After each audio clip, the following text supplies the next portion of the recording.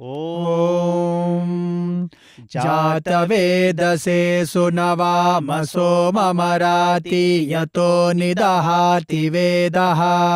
स नः परिषदति दुर्गाणि विश्वानावेव सिन्धुं दुरितात्यग्निः। तामग्निवर्णां तपसा ज्वलन्तीं वैरोचनीं